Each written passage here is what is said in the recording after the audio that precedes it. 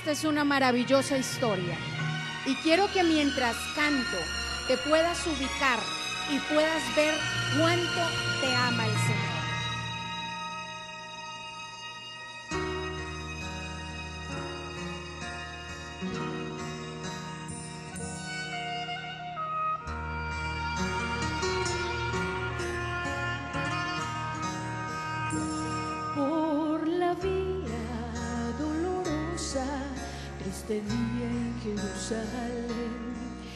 Los soldados le abrían paso a Jesús,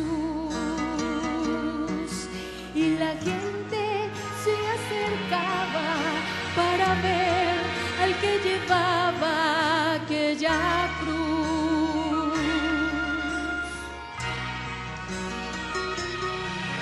le sangraban las heridas, su espalda recibió con espinas coronaron a Jesús. Pero más inmenso fue su amor por quienes él iba a morir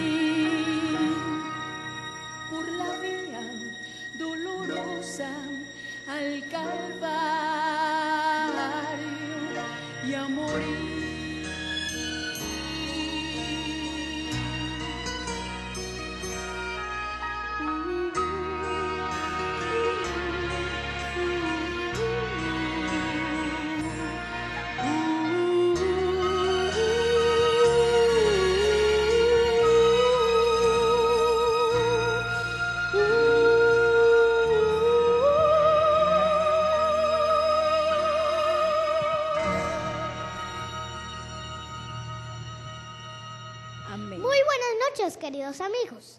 Es para nosotros como familia un gran privilegio el poder llegar a ustedes. Hoy estaremos hablando sobre una mujer que no tenía esperanzas, pero un día muy soleado encontró esperanzas en Jesús. Y ahora lo más esperado, con ustedes mi hermanito Kevin Miguel Patiño Bocanegra, con su tema en la agenda de Dios.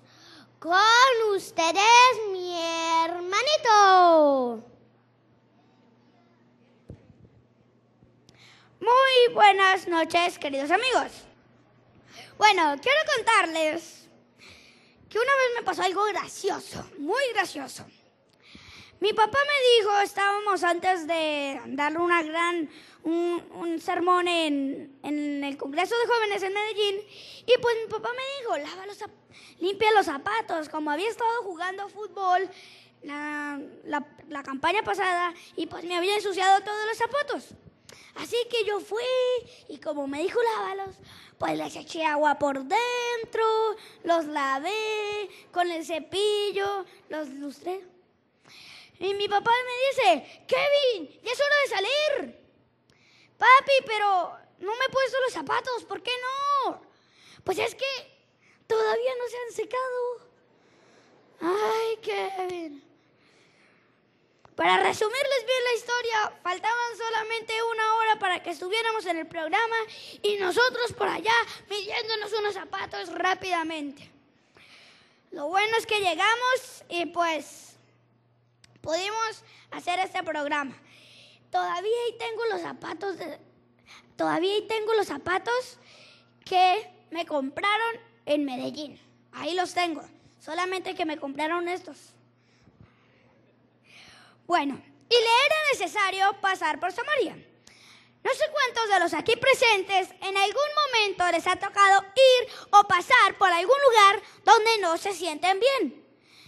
Ya sea porque no los aprecian o porque les traen malos recuerdos o porque tienen enemigos. Bueno, en lo personal existen lugares por donde no me gusta pasar o visitar especialmente aquellos lugares donde hay perros, que creo que va a ser casi en la casa de todos. Me da pavor llegar a una casa y lo primero que sale a recibirme es un enorme perro que sin conocerlo ya muestra caras de no muy buenos amigos. También he oído a mi madre decir, a ese lugar yo no voy, porque me siento incómoda allí. Existen lugares por donde no nos gusta pasar o visitar, o cosas que no nos gustan hacer, pero siempre terminamos haciéndolas, ya sea por deber o por amor a otra persona. Bueno, antes de iniciar, quiero que inclinemos nuestro rostro para orar. Amante Padre que moras en las alturas de los cielos, santificado sea tu santo nombre, Señor. Tú sabes, tú tienes una agenda para, para nosotros y pues queremos que esa agenda pueda cumplirse, que esa cita pueda ser de bendición para cada una de las personas que están aquí. En el nombre de Jesús, amén. Cuenta el relato que eran las 12 del mediodía. El verano arreciaba. La arena a lo lejos daba la impresión de ser un manantial de agua fresca. El desierto de Samaria parecía intransitable. Un hombre de estatura media lo transita con un grupo de seguidores. Han caminado desde el amanecer sus semblantes se notan agotadas. Sus pies están polvorientos y sus ropas empapadas del sudor daban la impresión de ser un jornalero cuando termina su trabajo. De pronto, muy a lo lejos, un poco distante, se divisan unas palmeras de esplendoroso verdor en medio de la resequedad del inhóspito desierto. Así que con sus últimas fuerzas caminan hacia hacia el lugar. Al llegar al lugar deciden descansar.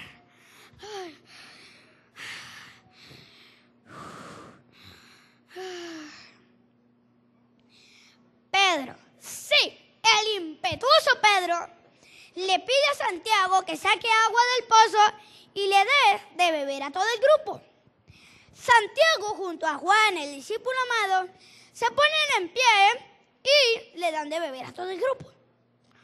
Cuando todos se han saciado y refrescado, entonces Pedro nuevamente toma la vocería del grupo y dice, pues amigos, está dando hambre, vayamos al pueblo de Samaria y compremos algo para comer. El grupo acepta la propuesta, pero antes de ponerse en marcha, Juan le pide al maestro que los acompañe. El maestro decide quedarse porque el Espíritu Santo le ha agendado una cita con una mujer. Y aunque el maestro está cansado, él la cumplirá. Lo tranquilo del lugar y el fresco de las palmeras hacen de aquel pequeño lugar un gran paraíso en medio de la resequedad del inhabitable desierto. Jesús descansando debajo de, una palmera, tranquilo. Mientras tanto, alguien se acerca, alguien se acerca, se escuchan los pasos de alguien.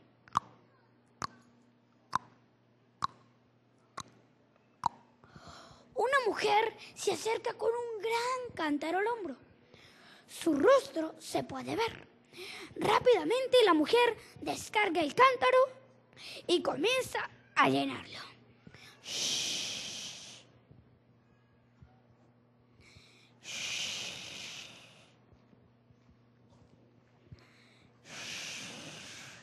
Cuando a sus espaldas ella escucha una voz. ¡Hey mujer, dame de beber! La mujer, asustada, mira de reojo y ve la silueta de un hombre. Piensa que como muchas veces este hombre le pateará el cántaro y le regará el agua que con tanto esfuerzo ella ha sacado. O la ultrajará, como le ha ocurrido en otras ocasiones. Pero nada de esto sucedió. Así que la mujer decide voltearse y descubre que el hombre con el que está hablando es judío. Así que ella piensa que este hombre no conocía la historia de su vida. Pero lo que aquella mujer no sabía era que aquel hombre era Jesús. Ahora bien, hay algo bien interesante para resaltar en esta historia. Entre judíos y samaritanos no se la llevaban muy bien tenían cierta enemistad, ciertas diferencias, ciertos rocecitos. No eran muy buenos amigos, más bien eran enemigos. Como dicen en Colombia, andaban como perros y gatos. No se querían. Ahora bien, para ir de Judea a Galilea o de Galilea a Judea, habían tres opciones. La primera era montarse en barco e irse por mar. Pero yo me imagino que esto era costoso. La segunda opción era darse toda esa vuelta por Jericó, que se demoraba mucho, seis días. Y abundaban los ladrones. También como dicen en la tierra de mi papá y de mi mamá, habían ladrones para botar para lo alto, habían demasiados. Así que esa vía era muy extremadamente peligrosa. Y la tercera y última opción era pasar por Samaria. Y además era bueno, porque solamente se demoraba tres días. Ahora bien, había una ley judía que decía que si algún judío pisaba territorio samaritano, tendría que pasar semanas de purificación y no podría ofrecer sacrificio. Entonces, la gran pregunta es, ¿por qué Jesús, siendo judío, pasó por Samaria? ¿Qué se imagina usted? ¿Por qué? Quizás quería llevarle la contraria a sus paisanos. O tal vez no quería montarse en barco. O a lo mejor mm, no quería darse la vuelta por Jericó. ¿Cuál creen ustedes que es la respuesta correcta? Pues saben, ninguna de las anteriores. En Juan 4:34 Jesús dice, mi comida y mi bebida es hacer la voluntad de mi Padre y acabar con su obra. Y en otra ocasión dijo, en los negocios de mi Padre me es necesario estar. Ah, mis queridos amigos y hermanos.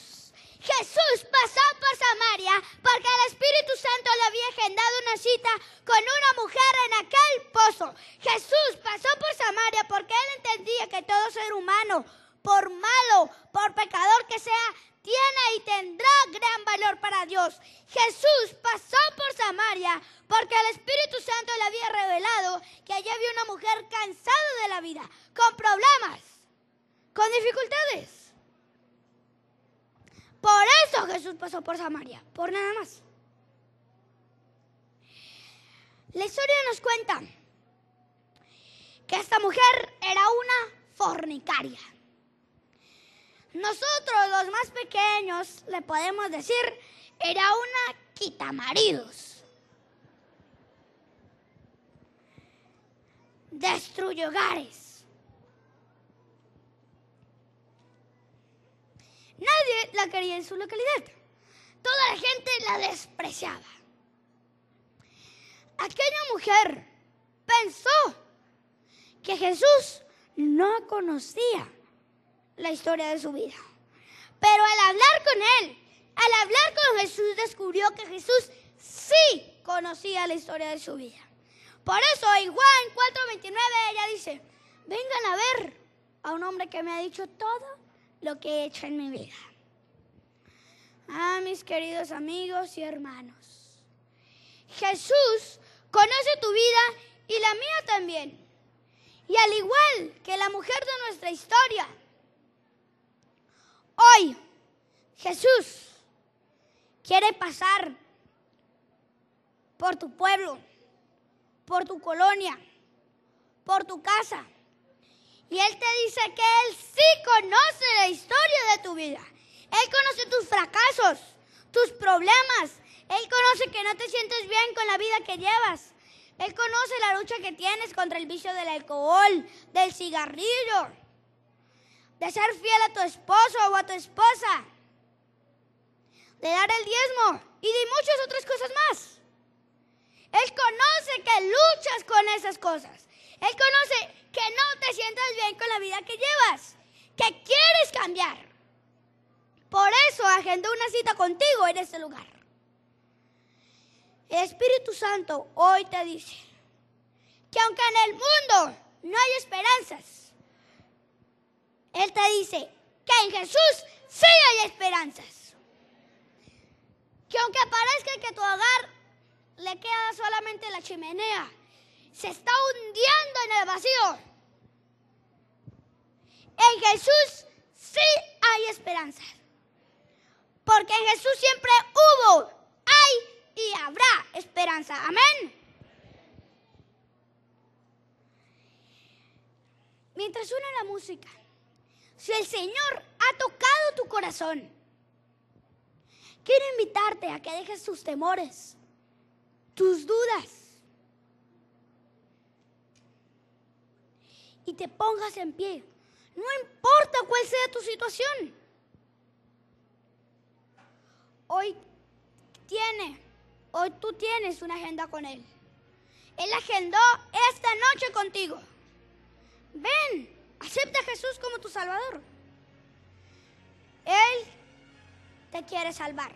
Y al igual que la mujer que estuvo en el pozo, Él quiere que tú vayas y le corras y le digas al mundo que tú has sido cambiada por Cristo Jesús.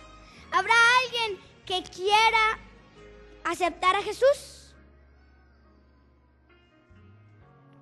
Vamos a dejar que mi madre cante.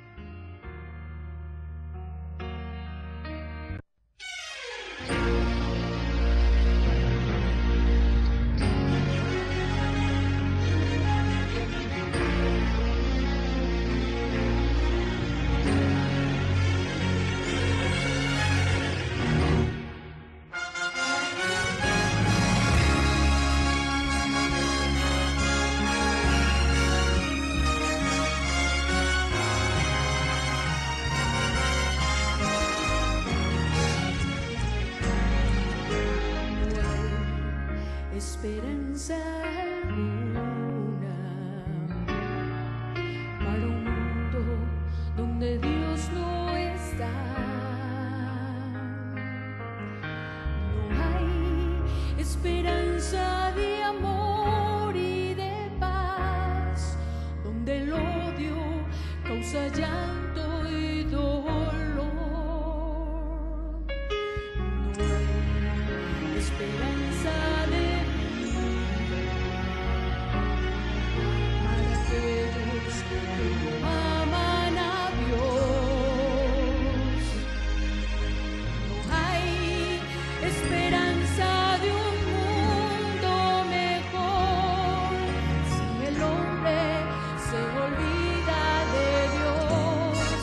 La esperanza es Jesús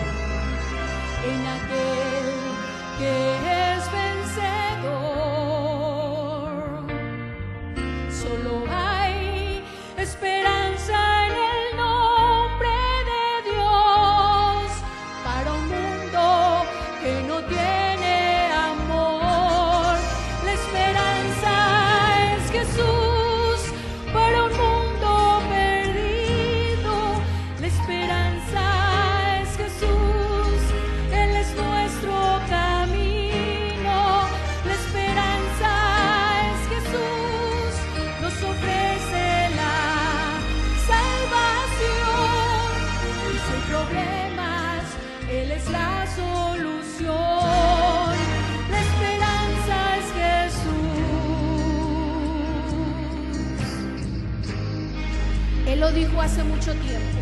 Y esta noche quiere que tú lo recuerdes. Dijo, yo soy el camino, la verdad y la vida. Si tienes problemas, yo soy la esperanza para ti. La esperanza.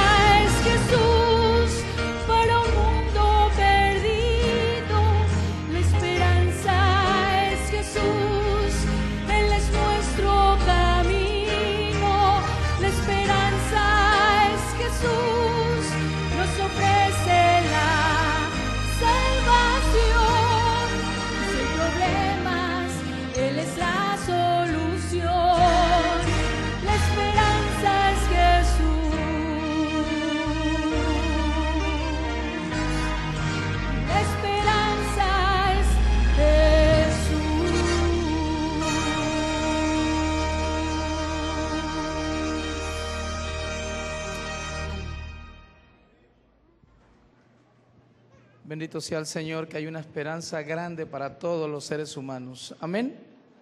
Y es Jesús la esperanza de vida. A mí me encanta el tema que Kevin predicó esta noche. Porque es una historia que ilustra la condición de muchos seres humanos. Pero es una historia que nos hace ver la magnitud del amor de Dios por los pecadores. Jesús se metió en problemas con sus contemporáneos por el hecho de haber pasado por Samaria. Pero Jesús sabía que allí había una persona que necesitaba de él.